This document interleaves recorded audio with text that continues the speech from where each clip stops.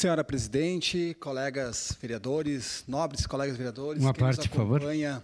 pelas redes sociais, pela TV Câmara, né? tenho dito desde que cheguei aqui que estou aqui para somar, para aprender e para contribuir.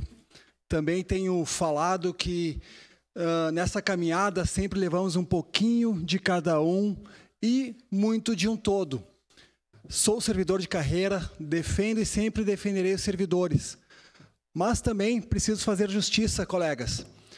Até entrar na Câmara de Vereadores, sempre ouvi de colegas, de amigos, da comunidade, o porquê de um vereador, de uma vereadora ter assessores.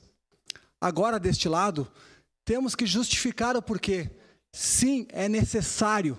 É humanamente impossível, pelo tamanho da nossa cidade, pela quantidade de demandas que recebemos, dar conta de responder o WhatsApp, dar conta de atender o telefone, as redes sociais, encaminhar as demandas ao executivo, participar do plenário. Então, sim, tem que fazer justiça e tem que ser feita essa fala para que a população saiba, para que todos saibam que é muito necessário ter assessoria, ter a contribuição e a colaboração de todos. Falando de assessoria, quero agradecer ao PSB, enfim, ali por me disponibilizar assessores aí prontamente, que tem me ajudado muito, tem colaborado muito. Sua parte, vereador Camilo, por favor. Uh, obrigado, colega Gemerson. Para não, não fugir do assunto antes de você falar, o do colega vereador Bressan. Uh, fiz um relato, fizemos um relatório, o gabinete fez um relatório o ano passado sobre a Rota do Sol. Tiramos fotos, centenas de fotos. Saiu reportagem no, bairro, no Jornal Pioneiro, duas páginas. Entreguei pessoalmente ao senhor governador um relatório, fotos, comentários, e ideias, sugestões. Não fizeram nada até hoje. Faz um ano. Desculpe. Ah, não fizeram nada. Eu passei, passo seguido nessa Rota do Sol.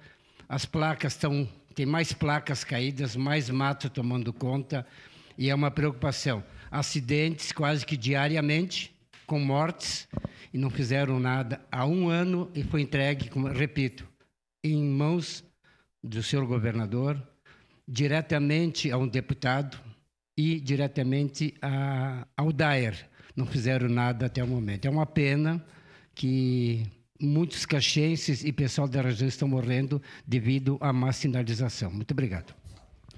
Obrigado, vereador Camilo, pela contribuição. Declaração de líder para União Brasil. Isso só corrobora a questão de nós termos assessores, quem nos encaminha as demandas, quem nos auxilia na busca das demandas e os encaminhamentos. Seguindo nessa linha, então, falando dos assessores, são eles, então, que muitas vezes intermediam o contato nas secretarias, no executivo. Então, indo para o meu mundo, que eu tenho bastante experiência desde 2012, servidor público, quem recebe nossos assessores de imediato são os servidores. Se uh, vamos protocolar algo no sistema do executivo uma solicitação, um pedido de indicação, uma informação, é porque os servidores da TI, Tecnologia da Informação da Prefeitura Municipal de Caxias do Sul, mantêm o sistema ativo. Quando uh, marcamos uma, uma reunião com o secretário da pasta, são agentes administrativos, servidores públicos de carreira que fazem o primeiro atendimento e o agendamento. Quando vamos matricular nas escolas nossos filhos, são servidores, secretários de escolas, diretores, vice-diretores que fazem nosso primeiro atendimento, todos servidores de carreira. Vindo de encontro da funcionalidade de Caxias do Sul, de, de todo o executivo, nós temos sim o atendimento prioritário e primordial e inicial por servidores públicos. Declaração de líder, presidente. É. E desta forma, então, conversando nas nossas agendas aí com colegas servidores em diversas secretarias, não só meio ambiente, onde eu faço parte, uh, definimos juntos, então, encaminhar uma indicação para o prefeito. Sabemos que a questão do descongela, aquela parada na pandemia, está a nível federal. Somos sabedores disso, sabemos que neste momento está parada, mas cabe a nós aqui, como representante do servidor público, fazer uma indicação para que o prefeito analise, olhe com calma e também delibere sobre o assunto.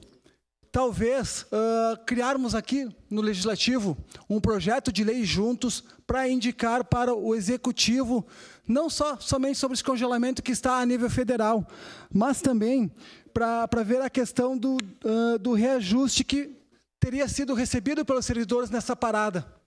E isso não é valorizar o servidor, é fazer justiça a quem está à frente do serviço público, a quem dá continuidade ao serviço público, a quem esteve à frente durante a pandemia. Lembrando ainda, em 2019, nós tivemos uma troca de prefeito. O prefeito foi impeachmentado ali nas vésperas das festas, do Ano Novo, de Natal. O que ocorreu? Servidores de carreira receber os novos secretários, os novos diretores, os novos CCs do governo subsequente. Os servidores, assim como eu, com muito orgulho, abrimos as secretarias e apresentamos as demandas da pastas. Servidores de carreira emitiram as portarias de exoneração e de nomeação dos novos CCs para dar continuidade. Vamos frisar sempre, falar sempre quem dá continuidade ao servidor? Precisa do primeiro escalão, CC? Sim, precisa. Ele vai uh, defender as diretrizes, o plano de governo.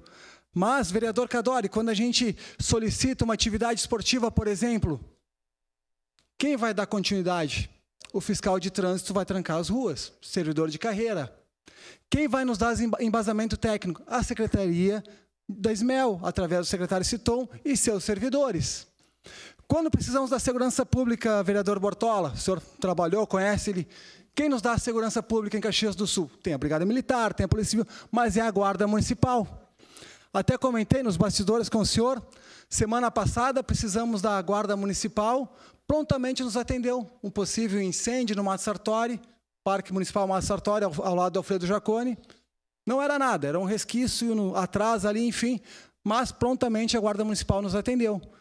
Então, são servidores de carreira que fazem diferença em Caxias do Sul, que merecem reconhecimento, a valorização.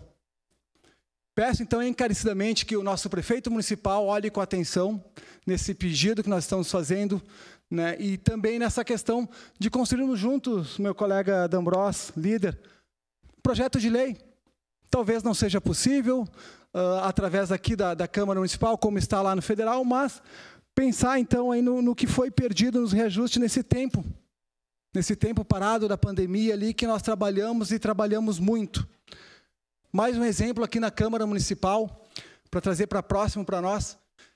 Todos nós recebemos nossos subsídios, nossos valores aqui. Quem encaminha a folha de pagamento? Servidores municipais, presidente. Então, merece sim nosso respeito e nosso apelo. Por hoje é isso. Muito obrigado.